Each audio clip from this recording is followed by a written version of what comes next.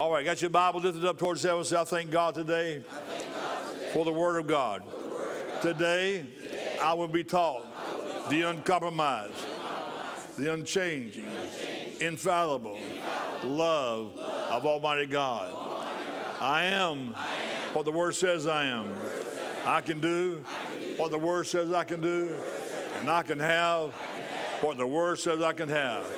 For today is the day that the Lord has made and delivered me from all sickness and all diseases. Because my Bible tells me so. For my Bible is God's Word speaking to me. And look to your neighbor and say, Neighbor, the Bible is God's Word speaking to you. Smile real big.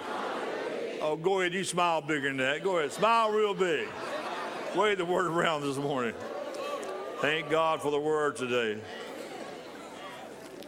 Turn with me, please, to Philippians this morning, chapter 4 and verse, verse 4. Philippians 4 4. I'm going to read it out of the Amplified Bible in Philippians 4 4. And we're going to pick up where I got interrupted on last week, the Holy Ghost. And we're going to try it again this morning. But it don't bother me when he interrupts me. Because I know then he's got a better plan than I have. Amen. Glory to God. We're going to talk about rejoice. And the joy of the Lord is our strength. Amen. The joy of the Lord is our strength. We have to learn to rejoice. And uh, it says here, Philippians 4 4, rejoice in the Lord always, delight, gladden yourselves in him. Again, I say, rejoice. Now, he didn't just say rejoice. He said, now, again, I say, rejoice. Now, Paul here teaching when he was in prison, writing this letter, the epistle of the Philippians, and in prison, he was rejoicing 16 times. Say 16 times. Just in this one book, he talks about rejoicing. Talks about rejoicing. Now, Paul went through some very difficult times, and he was able to rejoice in every obstacle he faced in life. The reason for that is he got a revelation on the road to Damascus when the Lord showed it one day and knocked him to the ground. And he got up a different man. Praise God. One day God knocked you down. You became a different person. But from that point on, we had to learn and get revelation of who we are in Christ. As the song goes, I know who I am. I know the perfect one lives on the inside of me. But I know I have challenges. But I want to know when I have challenges, what is my responsibility as a child of God to face these challenges. What's the, one of the greatest things we can do as a child of God when we're faced with difficult times? Understand that joy is the bridge between believing and receiving. Joy is the bridge between believing and receiving. You got to keep your joy on. Now, I, you don't have to feel joyful to be joyful. See, I'm joyful because I know the one lives on the inside of me. And Paul says in Galatians 2.20, he says, it's no longer about me, but the life that I now live, I live by faith in the Son of God who loved me and gave himself for me. So Paul got that revelation of who he is and was in Christ. And that's one of the most main ingredients as a child of God is to get a revelation of who you are in Christ Jesus. Because if you get that revelation that you can rejoice in spite of what you're going through. See, if you don't rejoice when you're going through something, the devil think he's winning. The devil will think he's winning. So we got to rejoice. And I'm going to tell you something, it'll be a faith challenge for you. It'll be a faith challenge for you. And just getting out of bed in the morning is a faith challenge to rejoice. That's the summer I would go and visit Smith Wigglesworth when he was alive, years, many, many, many years ago. And he said, every time he visited Smith Wigglesworth, he was always up, always upbeat, always happy. Now, he was in his 80s. So one day when he was visiting with him, he said, uh, he said, Mr. Wigglesworth, he said, why are you always up? How do you stay up? Why are you always up? He said, well, the first thing I do every morning is before, when I get out of bed is I dance before the Lord hilariously for about 10 minutes. And some of you can't even make it through the house in a fast pace. Here he is in his 80s years old. I can just see him now, rejoicing in the Lord, getting up and rejoicing every. See, he started his day off right. He had a revelation like Paul did. Always rejoicing by faith. You rejoice by faith. You praise God by faith. Some of you came to church this morning by faith. Some of you rather slept in, sleep in this morning, but you came anyway. Thank God. You defied all circumstances and you defied all your feelings. You've got to deny your feelings when it comes to the things of God. When it comes to the Word of God, you have to deny your feelings. Amen? You have to do that. Paul says in Acts 20, 26, verse 1 and 2, he said, I just think myself happy. I just think myself happy. And he had to understand that reason he'd think himself happy because he knew the next step he would be facing more trials. He will already be thinking himself happy before he get there. You need to be thinking yourself happy before you get there tomorrow. Amen. You are saying, tomorrow when I get up, I'm thinking myself happy all day. I'm going to have a happy day. All hell may be coming against you. You may be fighting demons on top of demons. But the greatest fight you'll ever have towards a demon is to rejoice in the Lord. Because when you rejoice, your light begins to shine.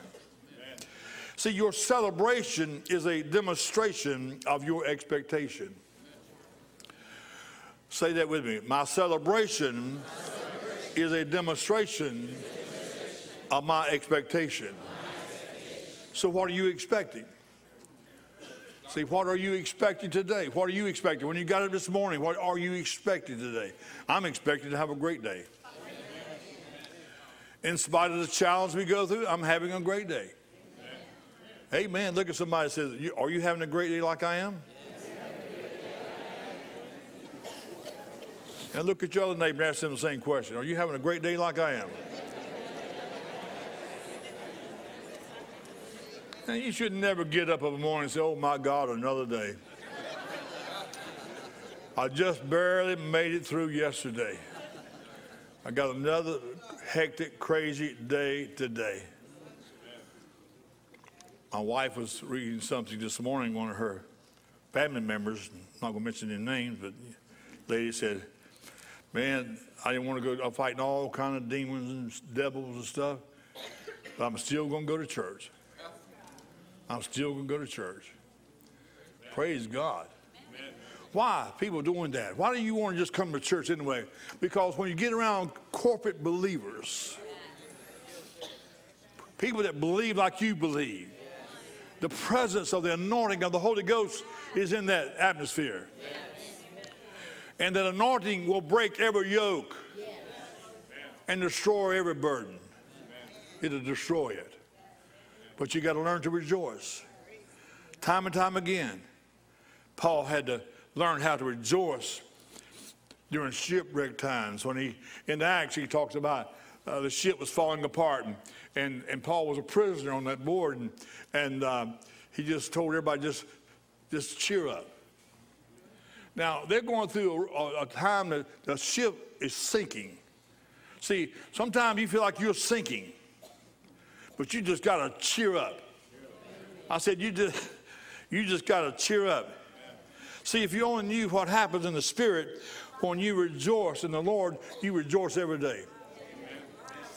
You're activating heaven because God loves for you to rejoice.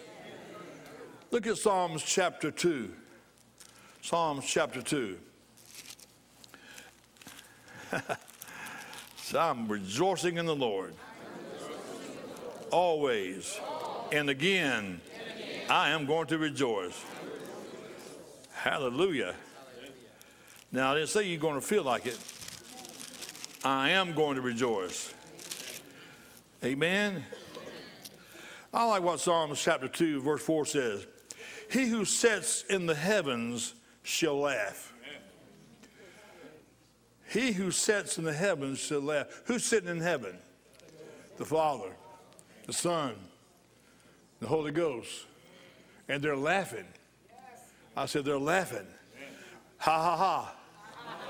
Ha ha ha ha. I said, they're laughing. Amen. We have to learn how to just laugh in the Holy Ghost. Just laughing, giving some praise and laughter. In Psalms 37, verse 13 says this The Lord laughs at him, for he sees that this day, his day is coming. See, he knows the end results of the devil, and the Lord just laughs about it. He just laughs about it. You need to see your end results as victory. You're not fighting to get victory, you're fighting from victory to victory. I said, You're not fighting to get victory over your situation. You're already victorious, fighting in your victory to bring forth more victory into your life. Amen. Matters not what you're dealing with, matters not what you're going through.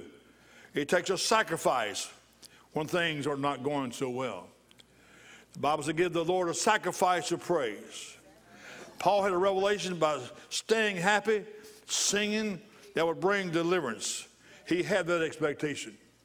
Even in Acts chapter 16, when Paul and Silas was in jail, what do you do? They begin to dance, begin to praise God, sing sings, what, sing songs. What did, what did the father do? He got so excited, the jail broke open. Praising God, getting happy and rejoicing will bring light into your situation. Are you hearing me this morning? Many times it just doesn't seem like a good time to celebrate. You say, well, Pastor, this is just not a good time to celebrate. But it's always the right time. It may not be a good time, but it's always the right time. Everybody say, this is the right time for me to get happy right now. Ha ha ha. Ha ha ha. if you hear yourself laugh, you laugh harder. Ha ha ha. People think we are ridiculous, but they don't know what we know. That's the difference. I said, that's the difference. Amen. Nehemiah 8:10 says this: "The joy of the Lord is your strength," and it also translates into our stronghold. Joy is our stronghold. Joy keeps us strong when we're challenged with cha- challenges, difficulties in life today. The joy of the Lord is my strength. Say, the joy of the Lord is my strength. Faith will always, faith will always reach down on the inside and conquer what you're facing on the outside. Faith. Faith is the foundation of our joy. Faith is the foundation of us rejoicing in the Lord. The word rejoice means this it means to, to lighten up, smile, and spin like a top. When's the last time you just jumped up and smiled, brightened up, and started spinning like a top? Somebody said, Well, they're going to think I'm silly. Well, let them think you're silly, but you're getting victory. You, you are a winner. Are you hear me? In times of trouble, you can say like Paul says in Romans 8:39, say, I'm more than a conqueror. Death or life, nothing is going to separate me from the love of God because I got this joy so strong inside of me.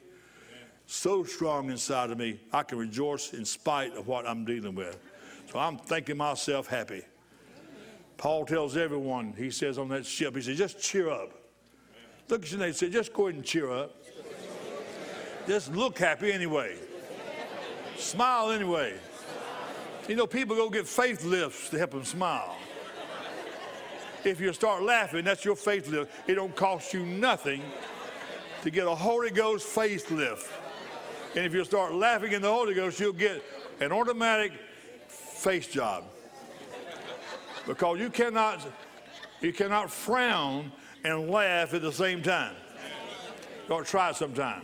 Look in the mirror when you get home and try to laugh and frown at the same time. Hallelujah. It's like trying to dance and stand still at the same time. It just don't work, does it? Amen. Joy in Hebrew means to rejoice. To rejoice. It is that joy which expresses itself in the gesture of the body. Look over here to 2, 2 Samuel chapter 6. 2 Samuel chapter 6. Oh, David, King David. I got to talk about him a little bit this morning. 2 Samuel chapter 6. When you get there, shout amen. amen. I'm getting there. Let's look at verse chapter 6, verse 14. Then David danced. Here's a king now. King David. He danced before the Lord with all of his might. David was wearing just a linen ephod, just his underwear. Yeah, somebody would really think that would be stupid. A king dancing in his underwear. And so David and all the house of Israel brought up the ark of the Lord with shouting and with a sound of the trumpet.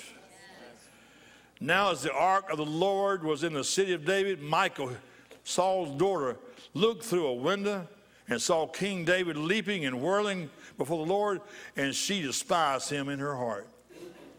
She said, I cannot believe I'm connected to this man. He's acting weird. He's the king of this nation. He's took his clothes off. He's out there spinning like a top, praising his God. That just made her so mad in her heart. She said, I just despise him. But notice verse 20. Then David returned to bless this household. And Michal, the daughter of Saul, came out to meet David and said, how glorious was the king of Israel today, uncovering himself today in the eyes of the maids of his servants. It's one of the base fellows shamelessly uncovers himself. She said, You just act like the group. You just act like the rest of the Israelis, dancing. You're a king. You should be above, above shouting, above dancing. You should be above that. People sometimes say, You're too dignified to shout. You're too dignified to get out there and dance before the Lord. Then, if you're too dignified to do that, you're just too dignified. Too dignified. See, the thing of it is, we don't let ourselves let go to let God be released inside of us. We need to say, God, here I am, use me. God, here I am. I don't care if I stand on my head. This is this what God is moving in my life to do? I'm going to do it. I'll climb that pole backwards if the Holy Ghost tells me to. now, if you see me climbing that pole backwards, you know it's the Holy Ghost.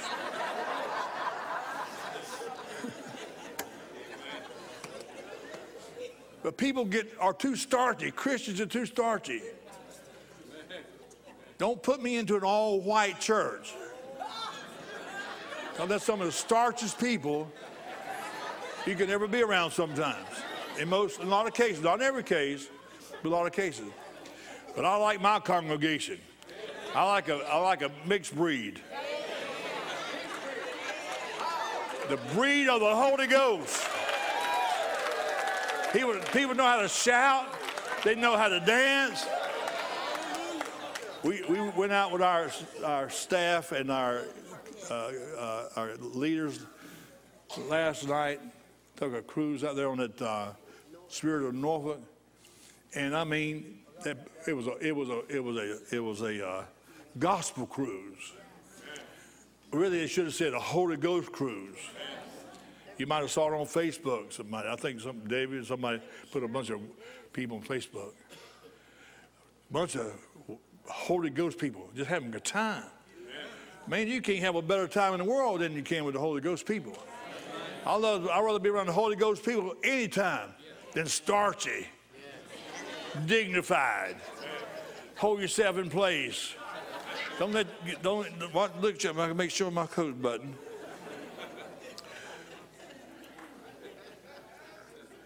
I remember here years ago, Dad Hagin was here, and you heard me say it many times. He was here preaching a meeting, and, and uh, back in those days, he had a lot of board members, and every one of them was wealthy, millionaires. And they all just sit in one group over here.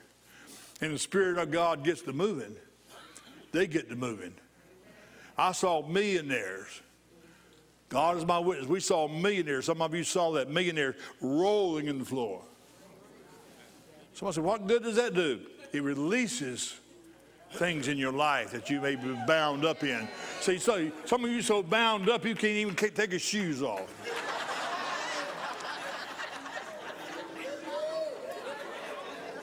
You need to just loosen up, loosen up in the Holy Ghost. Do like King David is. I don't care who's around me. I'm the king.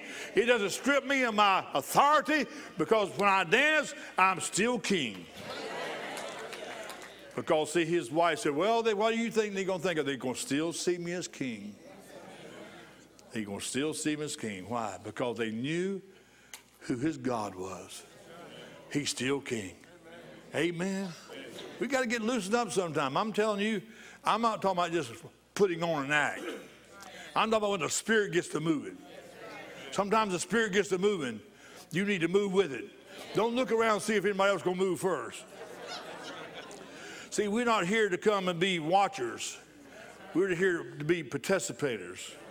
And sometimes God moves that way. Dad Hagin always say, if the Spirit teaches there, teach. If the Spirit there to preach, preach. If the Holy Ghost there to move, move with the Holy Ghost. That's what happened last week. We just moved with the Holy Ghost. I just I want what God wants. It's not about me. It's not about you. It's about the Holy Ghost. I didn't come to church this morning to have a little 30 minute service and have a, a little clappy song. I come to church to hear from God. I come to church to be a participator. I come to church to shout and dance and praise God, praising God. Hallelujah. I want to be able to leave today and say, My God, it's been good to be in the house of the Lord today. It's been good to be with God's people today. I enjoy being with the Holy Ghost today. I'll tell you just a little bit in the presence of God, take care of all your difficulties all your pride, all your unbelief, it'll straighten you right up. I said it'll straighten you right up. I'm telling you, God is so good. I remember the first time the Holy Ghost fell on me. We was in my house, New Year's Eve night, late. We just came back from church service. My wife and I, another couple, Dickie, Dickie Daughters, his wife, he was an evangelist. And we was, went home and said, we're going to still pray some more. Man, this gets good when you go home after church and we still want to pray. Somebody came home ready to get something to eat. And there's nothing wrong with that. But there's sometimes, you know, when you get done, you just want to, you ain't done. Somebody say, how long are you supposed to pray till I get done? How long am I supposed to spend in prayer? Hour, two hours, till I get done? It might be 10 minutes. It might be 15, it might be 30 minutes, it might be a night. I don't but when I'm done, I'm done. For that prayer time there. But we were praying New Year's Eve. This is back way back in the 60s, late 60s. Some of you weren't even born there. The Holy Ghost still moved back before you was born. and we was in the house, in the living room, little, it's a little, little house, not too big. And we had a coffee table right there. And the coffee table was kind of real close to the couch when it hunted, pretty close to the couch. And we were sitting on one end, and they were sitting on the other end. We just got to praying and worshiping. The next thing I know, I laying on the floor, have fell between the coffee table and the sofa, and didn't move neither one of them. Holy Ghost is awesome. I said, the Holy Ghost is awesome. See, here's the way we pray God, just have your way. God, have your way. We had a prayer meeting in the house one night. And of course, my pastor, we told him about our meetings and stuff. We don't do things not till our pastor. I don't want to have any secret prayer meetings without my pastor know what's going on. Because I want to get his permission on it. If he ain't got my, if I don't have his blessing on it, we're not going to do it. Anybody, a lot of people got filled with the Holy Ghost. We was in the Baptist church, in the Baptist church. Holy Ghost was moving. People getting baptized in the Holy Ghost. Man, we was having a time. And so after every after service on Sunday nights, we go to the uh, old sanctuary. That's after we got the new one. We get the old sanctuary, maybe a bunch of us over there, and Pastor he come over and join us. And we prayed God, pray in tongues, praise in tongues. And people got to come into me and say, Pastor, lay your hands on me. I remember one time I was in the pastor's office. And, and there, and the, great big old boy came in there and said, I want to be filled with the Holy Ghost, start speaking in tongues right then. Didn't he lay hands on him? Didn't he have to pray for him? When you're hungry, when you're hungry and thirsty, you shall be filled. Things were happening. But we had a prayer meeting in our home, and, and I mean, the Spirit of God got to moving. It was about 20 of us in there. And we was praying. Now, this is all new to us. I mean, we just, I mean, we was, you know, sometimes it's good to be ignorant about some things. That way you don't hinder the Spirit. And so we were just, we were just hungry young kids. I mean, just having a time in the Holy Ghost. And Lord, just have your way. We just praying in the Holy Ghost. I mean, the glory of God, the cloud of glory came in that place. It was so thick in there, all of a sudden, like a wind came blowing in there. And it picked me up off of the floor and put me up against the wall, didn't it, honey? We got witnesses. I mean, literally put me up off of the floor midair and held me up against the wall. Only time this ever happened. Lifted me up midair. And, and all of a sudden, I, I came to myself and, and I got scared. I didn't know what was happening. And one, the moment I looked to the natural, I fell down. And one, one other lady, she was over here, and all of a sudden the Holy Ghost picked her up, like floating, and laid her right on the couch. She didn't just fall on it now. She like levitated, just floated right over. So why is that? That's signs and wonders. When you get in the Holy Ghost, all kinds of things can happen. Miracles happen. Things happen. Hallelujah. Things are happening right now. When you rejoice, things happening in the spirit. Things you don't even know about. Things are happening in your home. When you get in the Holy Ghost, get to praising God, get happy. Things are happening at your home, in your family, on your jobs, where you work, wherever you're doing. Things are happening. Sometimes we emphasize prayer about so much all the time about the same thing over and over again. You don't want to do that. You just need to get in rejoicing. When you pray, start rejoicing. Just start rejoicing. Praying in the Holy Ghost. Are you hear me? David said here, how glorious was the king of Israel today, she said, uncovering himself today in the eyes of the maids of his servant as one of the base fellows, shamelessly uncovering himself. And David said to Michal, It was before the Lord. I did it because of him. It was before God. I did it for him. Who chose me instead of your father. Man, that's a slap in the face. See, if your father learned how to worship God, I wouldn't have to take his place. See, you're, when you start praising God, God may be taking you to replace somebody else. I already get a Baptist shouting right there, I tell you.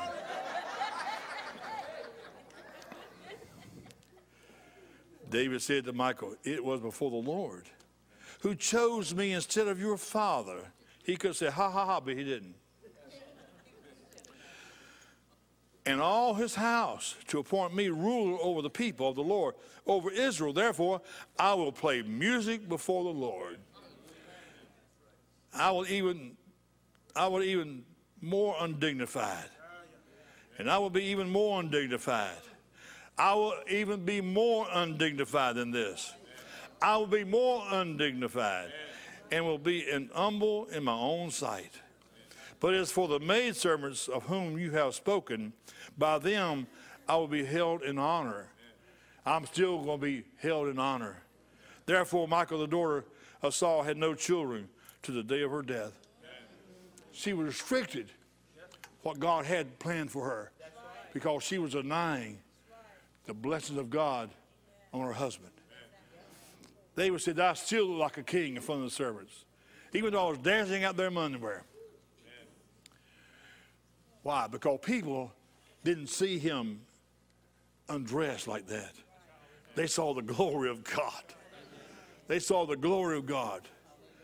When you get your mind on the things of God, you'll see the glory of God. You won't look at the issues or the problems or the messy clothes, messy hair. Some people see some people don't want to cry because mess up their makeup. You know, always put some more on later. Some men don't want to roll and four mess up their suit or their coat. Take the jacket off. Take the jacket off. We was in a meeting down in uh, down in Louisiana with uh, Leroy Thompson, uh, dress, what's his name that place? Anyway, Dad Hagin was down there de- dedicating his new building. So we all went in there and, and had a big meeting that week. And one night Dad was preaching, and the uh, Holy Ghost began to move. And uh, he come by there and hit, he hit Pastor Cowan on the leg. And uh, he went out, rolled all on the floor. And I looked over there. Next thing I know, he had took his took, took his coat off and slung it, and it hit me. When it hit me, I was rolling in Dad Hagin's coat. I didn't think about it then, but I said that was a good thing to happen. Rolling in the anointed, the man, anointed man's coat. And, and Mom Hagin said, He's rolling in Dad's coat. but see, we, I just always said, Lord, just have your way. I don't care.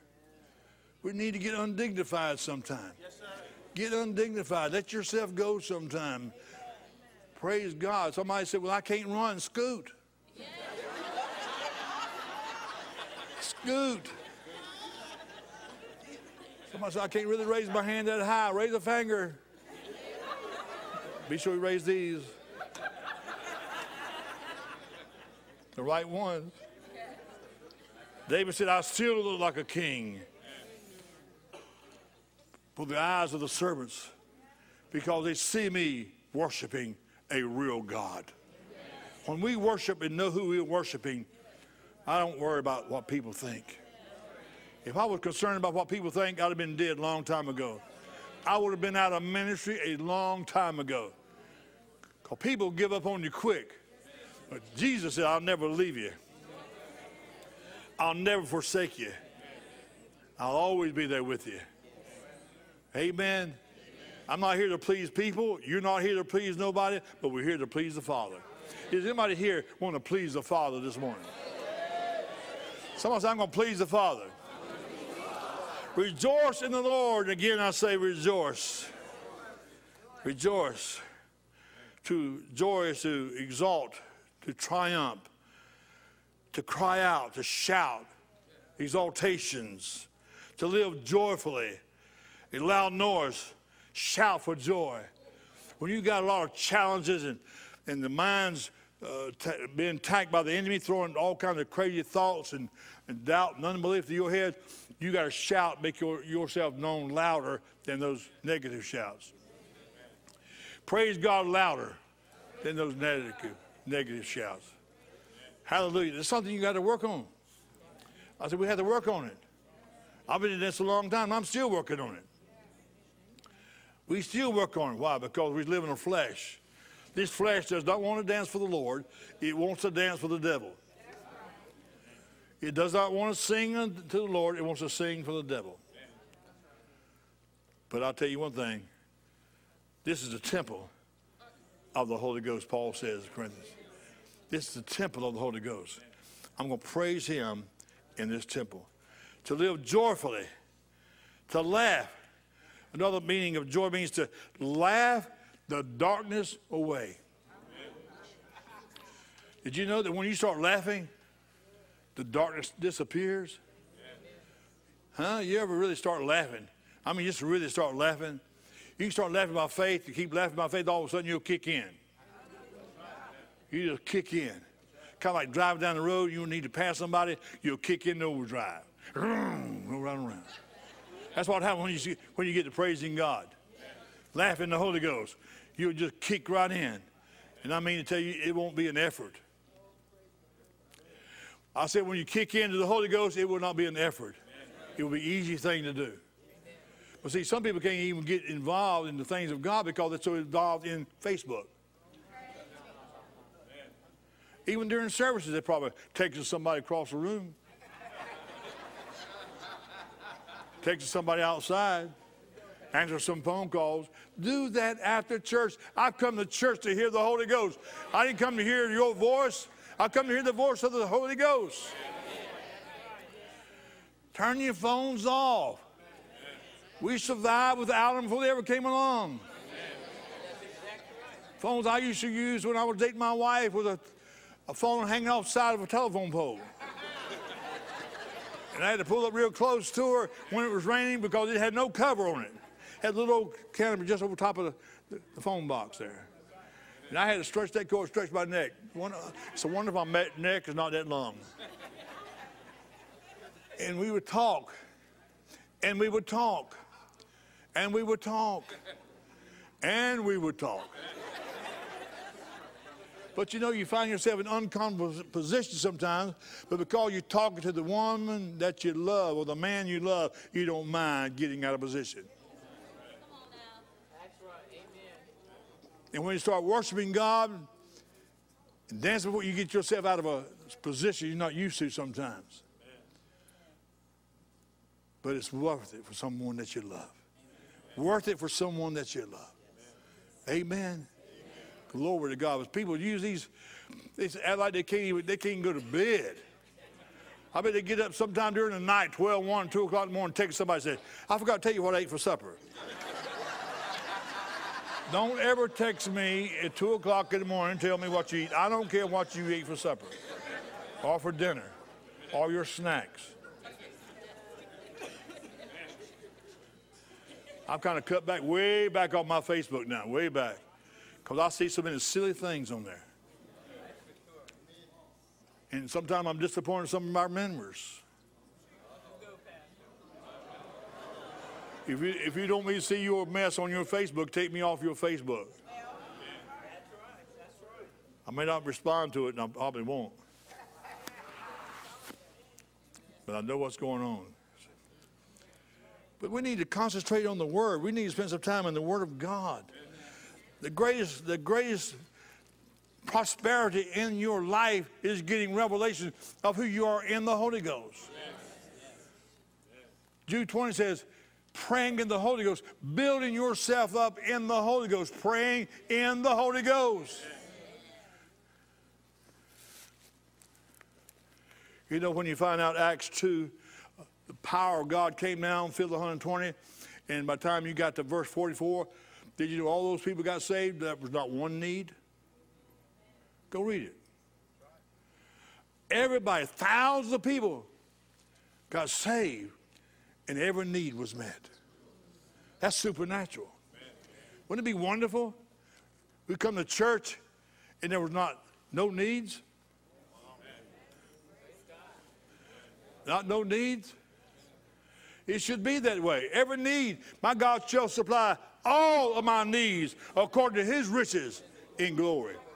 So let's get into his glory by praising him and glorify him. He'll make a way where there seems to be no way.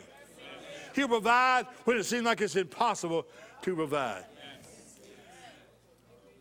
We've had just recently, this, this other day, Travis last Sunday gave a testimony that God delivered him out of debt. And before he left church, he had just a little bit of debt left, and that was paid off.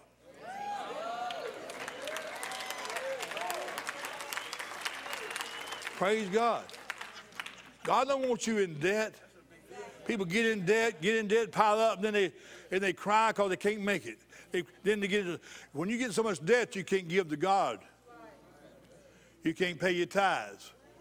See what happens? The enemy gets you to a, a deceptive mind where you can't pay your tithes and, and give offerings. I don't know about you, but I want my I like to be in a position where I can give a thousand dollars every week. Wouldn't it be something we had to, if we needed about five million dollars and and I would get up here and say, hey folks, this, we need to raise five million dollars. Be the first one to give a million dollars. How many more? Be, be four more people jump right up, and real quick, boom, boom, boom, million, million each. And then you got the rest of the church, they, they got mad because you didn't give me an opportunity. Said, you didn't move fast enough. That's the way it should be.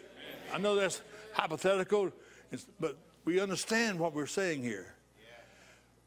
But through rejoicing and rejoicing, magnifying the name of the Lord, your celebration is a demonstration of your expectation.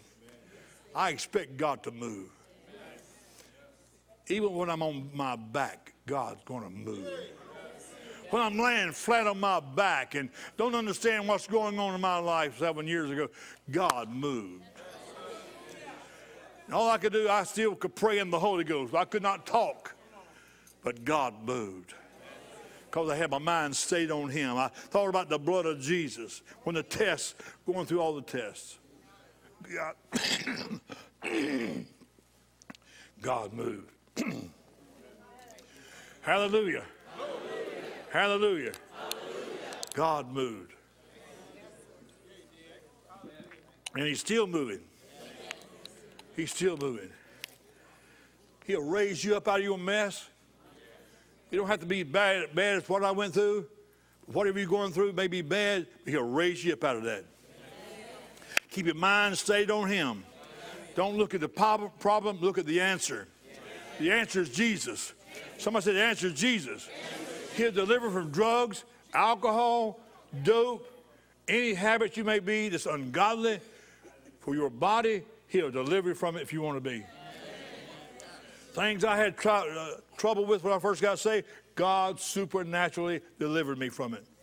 It took a lot of effort on my part on some issues. Some issues was instant. There's other issues. I don't understand why it didn't all happen at the same time. I guess he wanted me to put my faith on some things. Somebody said, What do we need faith for? You always got to have faith.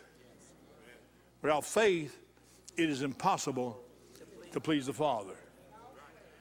We have faith to take care of what we're going through, faith to praise Him, faith to magnify the wonderful name of Jesus.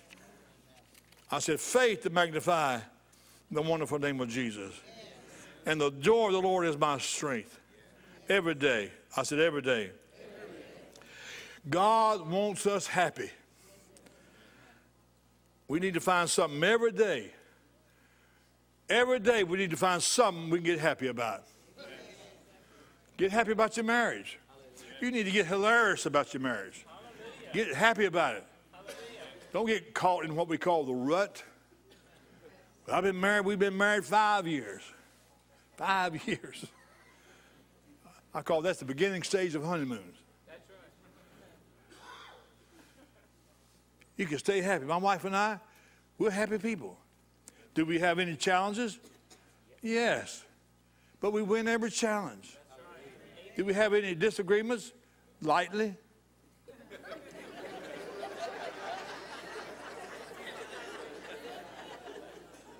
I grade it lightly. I don't want to put a number on it because I will never know, you know. But we always get through what? Because we love Jesus. Jesus is first.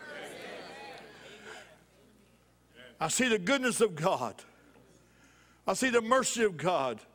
I saw what He's brought me from, what He brought my wife from, how He delivered us, and how He delivered my kids, where He, he brought them from. As I told you many times, my youngest son's associate pastor here. My older son is an evangelist. That didn't come by mistake. He comes by staying steadfast, believing God. When they were waver a little bit, Mama go find them when they were young. She'd take that long finger and she'd find them. She said, You get to the house right now. Get the house right now. She'd find them. She'd sit on their bed at night, talk to them. They want to marry this one. They want to marry that one.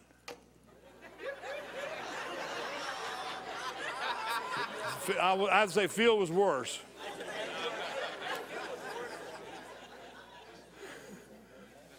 I don't know whether Gil ever wanted to marry somebody else or not. He never did, did he? You found the right one to start with, didn't you? Yes, good confession.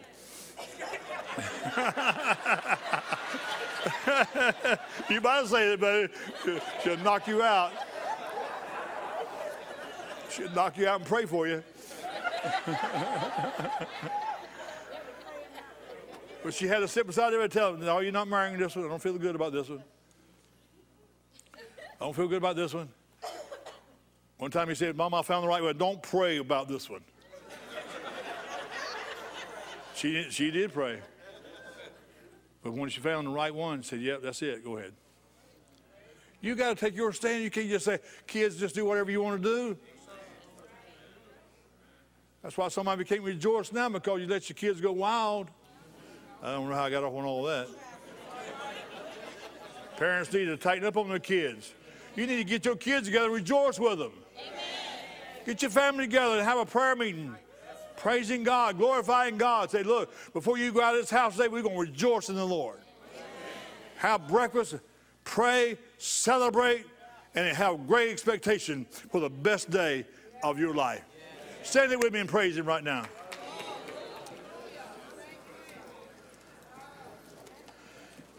Again, Paul said, I think myself happy. Somebody I'm going to think myself happy. Think myself happy. Thank God for the Holy Ghost. Amen. Thank myself happy. Oh, any happy people in the house? Come on, somebody give me a shout. I'm a happy man. I'm a happy woman. I, I got a happy marriage. Shout, I got a happy marriage. If you ain't married yet, say, when I do get married, it's going to be a happy marriage. Single people, listen to me. You don't get married to get happy. If you ain't happy before you get married, you may not get happy after you get married. Because if you don't marry the right one, be patient. Somebody said, Well, I'm, I've been patient a long time. Just keep being patient. It'll take place. Amen. But while you're waiting, don't just wait for a spouse. Worship God, trust Him. Lord, you know my life, you know what my needs are. I'm not going to be concerned about it no more. I'm going to just rest in it. I'm going to enjoy where I'm at. If I'm single, I'm going to enjoy. If I'm married, I'm going to enjoy. Amen. Just be happy. Whatever you're dealing with physically. You know, in times we live today is so much hate, so much division in the world today. But the body of Christ got to say like this Don't let the world pull you into their way of thinking. Don't let them pull you into their way of thinking. We've done seen how crazy things can get in the world. Jesus said, John 16, 33, but I've overcome the world.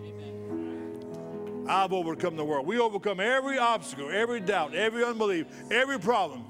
I'm not going to let the world issues affect me. Amen. I'm not going to let it affect me.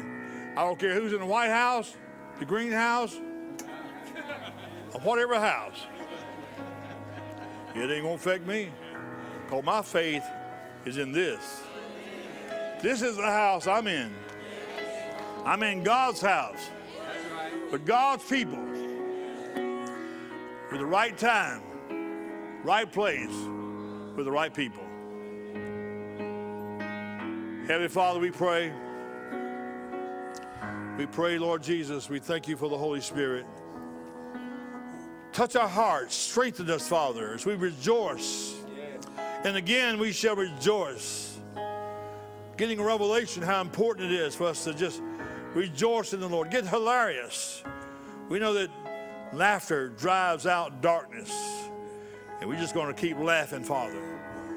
We're going to just keep laughing. Ha, ha, ha. We're going to keep laughing and praising you, Lord and all that we deal with in life. We laugh because we, in spite of the situation, not because of the situation, but in spite of the situation, we just gonna keep laughing and keep praising God.